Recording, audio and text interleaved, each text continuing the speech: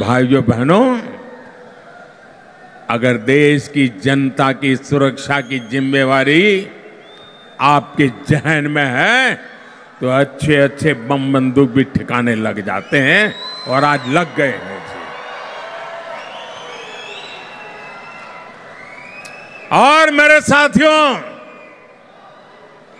ये मोदी है।